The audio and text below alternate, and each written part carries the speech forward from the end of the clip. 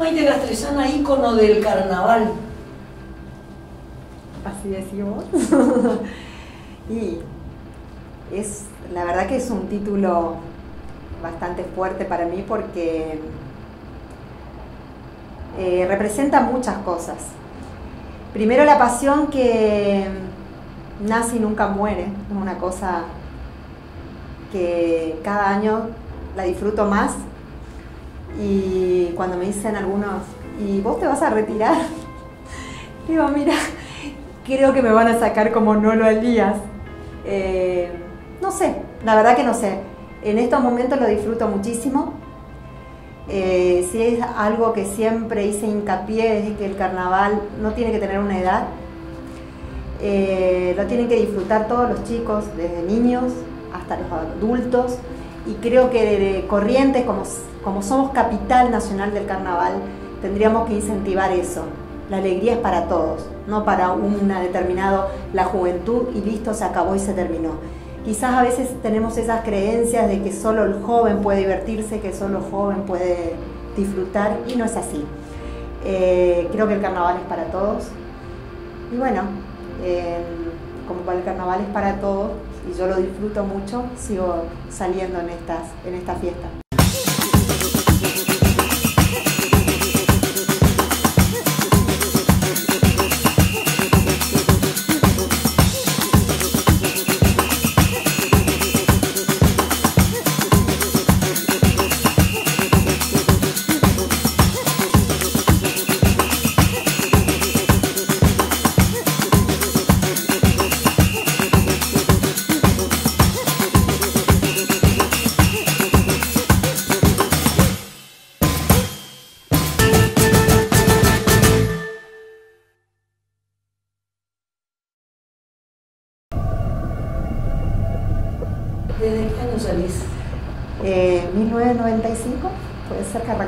En 1996, no me acuerdo bien la fecha. Eh, sí, Cuando renace el carnaval. cuando renace el carnaval. Eh, yo era chica y veníamos de vacaciones, acá no vivíamos por el trabajo de mi papá, vivimos en muchos lugares del, del interior de la Argentina y veníamos en las vacaciones acá y siempre eh, yo veía el carnaval y me embelezaba, era una cosa. No teníamos un acceso económico eh, como para poder hacerlo y tampoco estábamos mucho tiempo acá. Eh, y bueno, me acuerdo me iba al pueblo de mi abuela, de mi papá en San Luis del Palmar, me trepaba un muro que ella tenía, me ponía una rama de paraíso y me visualizaba en el mejor de los corsos disfrutando. Y hoy cuando me acuerdo de eso, no puedo dejar de emocionarme porque los sueños se cumplen. Y la verdad que mm, siempre lo deseé tanto que bueno, que hoy, hoy día lo disfruto. Y realmente me emociona mucho porque mm, es un sinónimo para mí de unión. Hay gente que opina que el carnaval lastima, no, el carnaval no lastima. El carnaval bien llevado, bien, a ver, si se lo sabe utilizar de la manera sana, es hermoso. El carnaval sana y cura heridas. Eh, también yo hubo un momento que perdí mi primer bebé a los dos meses y medio de embarazo y me dijeron, mi familia me agarró al mes y me dijo, vamos, más barato que un psicólogo, salís en el carnaval. Y la verdad que el carnaval a mí me devolvió mucho, me dio alegría, me, de- me retribuyó y como siempre digo, es una pasión, es un idilio. Yo en- entro a, ese- a esa pasarela y entro en trance. No veo, no escucho, es, es una... Es, es un trance, un idilio, un amor con el público, eh, donde yo le puedo regalar un ratito de felicidad, un rato de alegría y ellos me lo retribuyen a mí de una forma tal que me genera una adrenalina que es imposible de explicar. Quizás muy poquito lo que puedo aportar, pero sé que estoy aportando algo para que esa persona esté un poquito mejor. Y bueno, qué mejor que eso. ¿Te falta algo mientras que vas desfilando? Nada, no me falta nada. ¿Nadie? Eh, lo siento a mis padres al lado mío, es una sensación muy fuerte. Eh, quizás el primer año que después del golpe tan rápido para mí, en un, en un mes que se me fueron los dos, mi papá y mi mamá, fue una, una sensación de acompañamiento impresionante. Yo sentía esa energía que me acompañaba, no, no me puse triste, que pensé que lo iba a hacer, la verdad, y me retumbaba en la cabeza una palabra que yo soñaba, que mi mamá me decía, celebra la vida, hija, ya nos vamos a encontrar. Y bueno, y ese es mi legado y hoy lo hago y a todo el que pasa por el mismo momento trato de acompañarlos y recomendarle que el baile, la alegría, el reírse de uno mismo, el humor, sana, cura. Así que si entendemos este carnaval, que es para curar almas y corazones, podemos hacer algo grandioso. Creo que no fueron solamente tus amigos los que te acompañaron en ese carnaval, sino todo el corso, cada vez que pasaba Maite. Cierto, eh, ese año cuando volvía a salir sin esa compañía física, digamos, tuve el acompañamiento de todo el corso, de todo el público. Eh, me sentí muy acompañada, realmente un cariño que quizás nunca hubieras creído posible, pero esa es una de las cosas mágicas del carnaval también. ¿Sentís que entrar a los cursos en, esas, transiciones de la vida eh, fue como una terapia para vos? Entrar en esos momentos difíciles de la vida fue realmente una terapia el carnaval y lo sigue siendo. Eh, tengo muchos amigos y familiares que pasaron por momentos muy duros y realmente el carnaval es una terapia. Quien pueda bailar y reírse, eh, la alegría vuelve. Y cuando empezamos a entender que estamos de paso y que nuestra misión es celebrar la vida, qué mejor que eso, que hacerlo de la manera que mejor nos sale. Es como que se prende la luz y entras en el corso y es la misma sensación que cuando, digamos, se prende una luz de una cámara y se, acción. Esa misma sensación. es una sensación totalmente. Cuando pisamos esa línea, miro al cielo, agradezco a todos mis seres que están acompañándome y le digo, bueno, acá estoy celebrando la vida, este es el legado que ustedes me dejaron y lo voy a hacer. Es mi aporte. Quizás no sea mucho, pero es el aporte que yo lo siento con el alma y con el corazón, entonces es lo que hago. ¿Qué sentiste la primera vez que tu hija entró, pisó la avenida? Y vos también. Ay, la primera vez, diez meses. Juanita tenía diez meses y fue acompañada de su prima Agustina Garay, que la llevó a alzas. Tenía un body blanco con una S y toda bordada. Todas las noches se presentó. Y realmente fue sentir de qué hermoso poder compartir y qué mejor que con tu hija. Y hoy en día ella asumió un papel, a ver, quizás el no estar ya más mis padres, a veces ella cree que es mi mamá y me cuida tanto que eh, está pendiente de mí. Eh, a veces muy autosuficiente, no me permite que la ayude, es más, ella está pendiente de ayudarme a mí. Eh, compartir esta pasión con ella es difícil de explicarlo, pero para una madre poder estar con su hija en las cosas, en tener un punto de unión en lo, lo que a ambas nos apasiona, es fabuloso. ¿Y han llegado a salir tus dos hijos y vos? Hemos llegado a salir mis dos hijos y yo, los tres. No, la verdad que, y toda la familia acompañando, como siempre, también toda la familia de mi suegra, eh, los Castillo Odena, que realmente siempre fueron incondicionales conmigo y con toda mi familia, y realmente hoy me siento parte de ella. Ay, yo hoy me emociono porque, como te vuelvo a decir, el carnaval para mí es familia. Y realmente eh, es fuerte. Hay gente que no puede entenderlo, pero no es nada de superficialidad, como volví a decir. Hay muchos sentimientos que se manejan que si sabemos manejarlos, podemos llegar a compartir y enseñar a los más jóvenes a que uno puede ser feliz sin necesidad de cosas externas. Y con muy poquito podemos hacer mucho. ¿Sentís que sigue habiendo la misma pasión desde el primer día que entraste?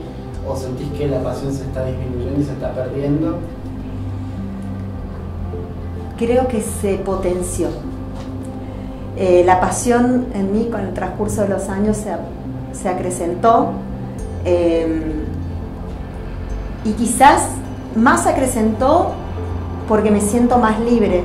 Quizás los años me han llevado a aprender de que hay cosas que quizás pasan a un segundo término.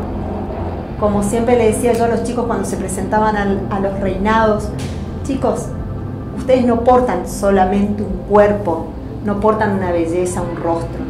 Están llevando en su alma, en su corazón, transmitir a la gente la confianza, la alegría, el saber que se puede y el saber que se puede compartir momentos con otros y, reírnos, qué mejor de estar bien en los momentos eh, más difíciles de la vida y en los no tanto. O sea, poder disfrutar de cada momento. Así que yo creo que la pasión se acrecentó y con más libertad, libertad de quizás de, depender, de dejar de tener em, más prejuicios en cuanto a, no sé, a quizás eh, si estoy más arreglada, menos arreglada. Creo que es un combo de donde el interior es lo que más pesa. Eh, la pasión en vos aumentó, pero la pasión en sí por el carnaval nos está perdiendo con el público, con los comparceros nuevos? Mira, particularmente es maravilloso lo que está pasando en Zapucay. Yo que he desfilado desde hace mucho tiempo, puedo decirte que es emocionante ver cómo nuestra comparsa, particularmente hablo de mi comparsa, cómo creció. Tenemos muchos adeptos, tenemos mucha gente acompañando nuestro paso, cantando nuestras marchas, y la verdad que como estoy en trance en esos momentos, no podría decirte otra cosa que yo siento que crecimos mucho.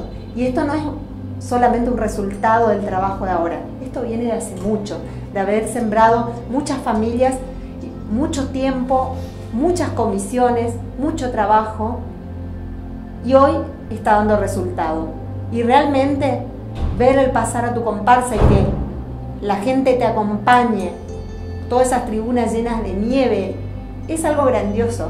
O sea, si bien hubieron otras comparsas que lo lograron antes por la cantidad de tiempo que han estado, es hermoso que nosotros como comparseros podamos también sentirlo y que todos podemos, todos podemos llegar a eso.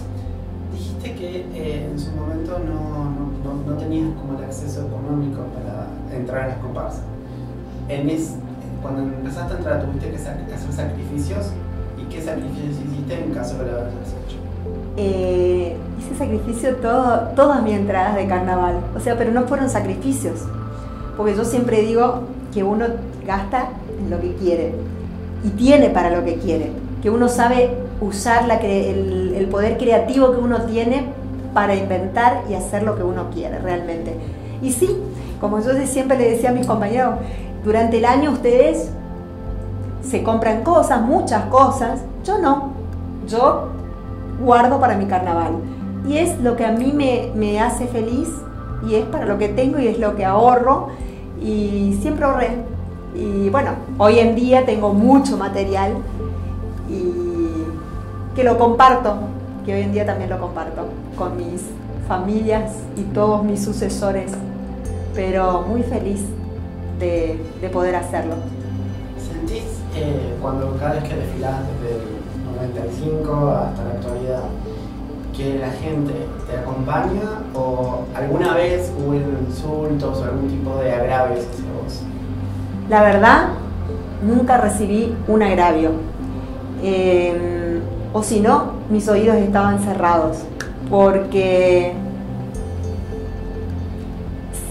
soy una persona que siempre trato de buscar lo que nos une. Eh, creo más en eso y me enfoco en eso. Y quizás mis sentidos se va cerrando a lo que no es paz y lo que no es armonía. ¿Qué sentís la última noche que entras? La última noche que, que entro eh, me agarra como una como una especie de nostalgia de, bueno, de saber que bueno, dentro de un año volveremos, Dios mediante, pero que hay que transcurrir, hay que pasar el año. Entonces trato de decir, bueno, acá me recargo de las pilas para poder sobrellevar todo lo que pueda tratar de afectarme durante este año y, poder disfrutar eh, posiblemente del futuro carnaval, pero es una nostalgia, es una mezcla de sentimientos, pero realmente la alegría perdura. ¿Y sentís que habría que hacer alguna crítica a, digamos, a tu comparsa, donde vos estás? Eh, ¿Sentís que te haces muchas autocríticas o sentís como que eh, están muy bien, te sentís muy bien cómo te trata la comparsa? Eh, a mi comparsa, críticas, no lo llamaría críticas, porque estoy siempre enfocada en todo lo que hacen. Es, es algo amateur. La gente de la comisión, como así muchos de los chicos que tienen realmente muy comprometidos con la comparsa, eh, valoro y rescato el tiempo y la disposición que tienen para con nosotros. Em, realmente si tendría que criticar, quizás tendría que estar comprometida más durante el año con la comparsa y con todo el tema de carnaval para poder decir algo con autoridad. Em, me quedo siempre con el agradecimiento y, todo lo que, lo que dejan ellos también en, esta, en estas fiestas. Son la segunda persona que habla de Zapucay como una familia. Yo te puedo hablar desde el corazón y te puedo decir que Zapucay es una familia.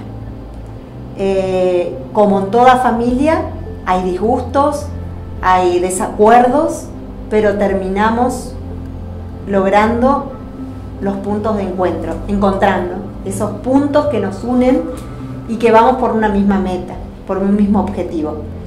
Y nuestra meta y nuestro objetivo hoy en día, creo que es un aprendizaje que lo venimos haciendo desde hace mucho tiempo, no es ganar una copa. Cada noche para nosotros es un triunfo. Lograr, como te vuelvo a repetir, que la gente esté alegre, aunque sea por un rato, es el mejor premio que un comparsero puede recibir. Eh, y no solamente es lo que nosotros brindamos, yo creo que recibimos mucho del público. Y eso no tiene precio. Y Aizapucay aprendió a superarse día a día ella misma. Por eso hoy me atrevo a decir que estamos más allá de un resultado. Porque realmente eh, entendemos la pasión del comparsero, como así también entendemos la pasión de todas las comparsas y de todos los que forman parte. Em, es más, yo creo que para que este carnaval por fin tenga el lugar que se merece, necesita el trabajo de todos.